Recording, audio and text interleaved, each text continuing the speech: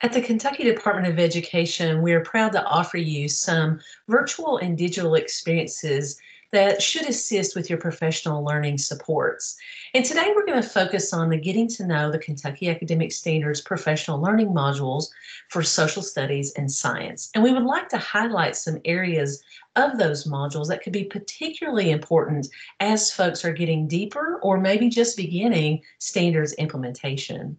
Now, for these professional learning modules, the purpose of those is to develop this deep understanding of the Kentucky academic standards.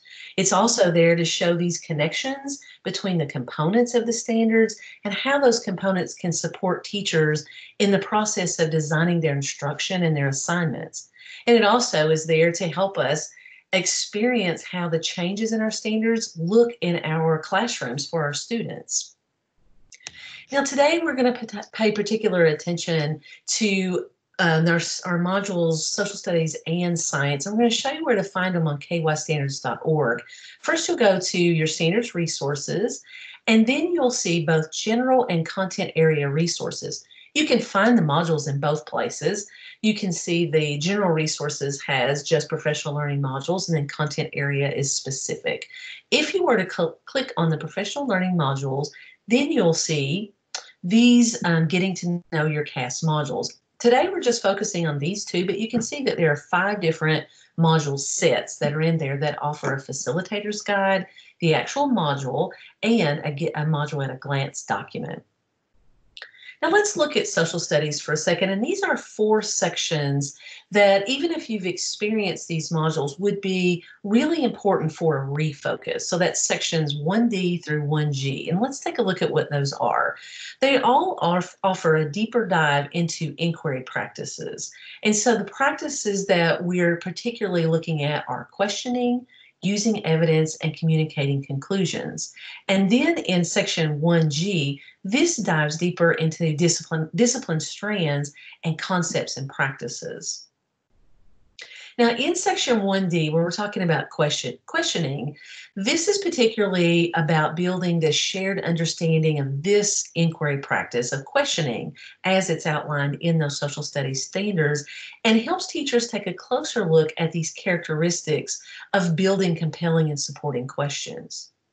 In section 1E, it's looking at using evidence. So it's still one of the inquiry practices helping um, to build this understanding inside those standards and become more familiar with these components of using evidence and how to answer compelling and supporting questions.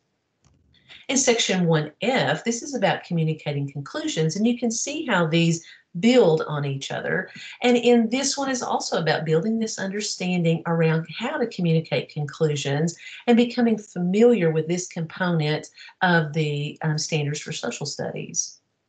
And in the last social studies section, it's dealing more with um, this discipline strands and concepts and practices. And it helps us build this understanding and become familiar with discipline strands within our standards and the concepts and practices. These sections will help you dive deeper into each of those and really gain a strong understanding as you build instruction and assignments for students in social studies. And so now let's take a closer look at the Getting to Know the KAS for Science module. And again, these are the sections we would really like to highlight because if you're familiar with the science standards at all, you know that there are three dimensions that make up each standard. So session B is going to take a closer look at the dimension of the disciplinary core ideas. Session C will focus in on the science and engineering practices. And then session D is going to take a closer look at the cross-cutting concepts. Um, and it's really important that we understand each of these dimensions more in depth and how they are interwoven together to help build science understanding for our students. Session B is looking at those disciplinary core ideas. And the entire point of this is to really give an in-depth look at what is meant by this core idea. And participants are going to get an opportunity to really explore the progressions of the major core ideas across the different grade levels so they have that full scope of understanding of the K-12 progression to see where their grade level fits in.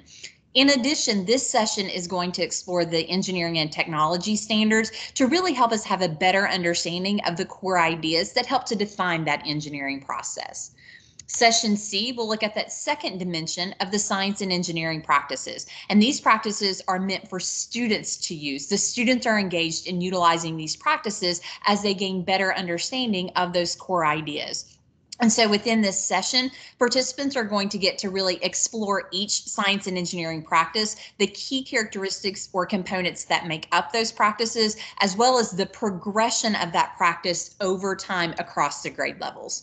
And then in that final session, um, looking at the cross-cutting concepts, it's, it's a very similar structure. It's going to give participants an in-depth look at how the cross-cutting concepts, how do they progress over time, and what are the key characteristics or components of each of those cross-cutting concepts.